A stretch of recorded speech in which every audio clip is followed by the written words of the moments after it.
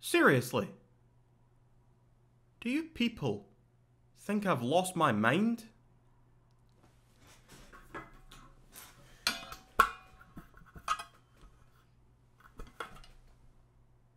Do you think that I'm a fucking fool?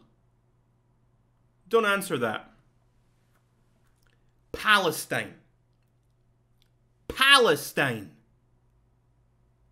You expect me to think that's a place in the Middle East? Yeah, fucking right. Yeah, right.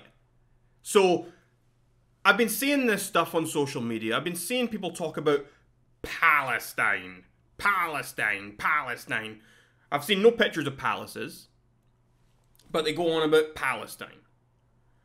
Just a few months back, maybe it was a year ago, I don't know, in the last year, I remember something about an East Palestine.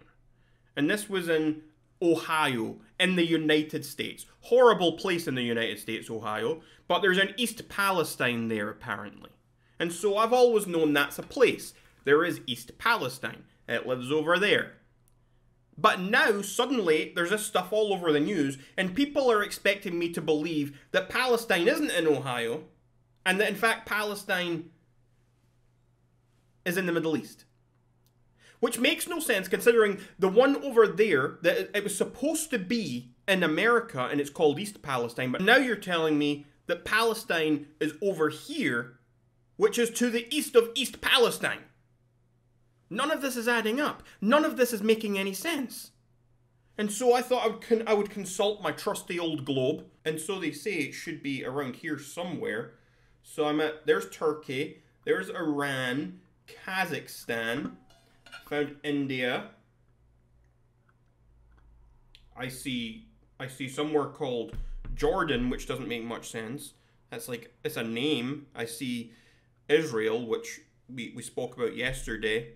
Um, I see Jordan here and I see Syria, but I don't see anything on here that says Palestine. So I don't know what people are trying to say here. I mean, I, I, I acknowledge that globes are not always correct, for example. I mean, that's why there's a big X over Australia, because that's not real, and so I had to correct the map. But, I mean, there are other places I should probably do the same thing with, such as, like, Canada. But I don't see Palestine anywhere on this globe. They're not even they're not even like trying hard with this propaganda. Like at least with Australia they were trying hard. They put some effort in. They, they, they got it on the globes. They made some deals with globe manufacturers and atlas manufacturers and they bribed off Google Maps. But with Palestine, there's none of that. Palestine, they're just they're just saying on social media and expecting me to believe it, even though it wasn't so long ago. There was a whole crisis of some oil spill or something in East Palestine that we also had to agree on. And now you're trying to switch gears and tell me, no, it's not actually in America, it's over here in the Middle East. And you're telling me it's where that.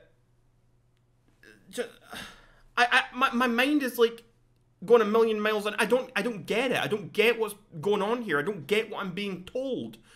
I'm being told so much conflicting information, and it's by the same people. It's not like one side saying this and one side saying that. The same people expect me to believe that East Palestine in America is somehow moved to the Middle East, and somehow East Palestine, a part of Ohio, is somehow integrated with the Middle East. It's somehow just landed right there next to Israel or something.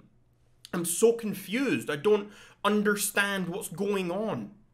Can someone please help me in those comments? This isn't a real thing. I feel like I, people are like, I, I, I wish, I wish you were right. I wish it was so simple. It was like, okay, yeah, sure, that, they moved the country, they just lifted it out of Ohio, and they they made it its own little country over here. But but that's not what that, that that that doesn't happen. That's not real. That's not what happens in real life. That's something you see in a movie, in a dream or something. That that can't happen. It's not practical. It's it's not realistic.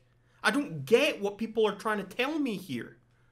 And so, my only conclusion here is Palestine does not exist. It's not a real thing. I don't know. I've said it enough.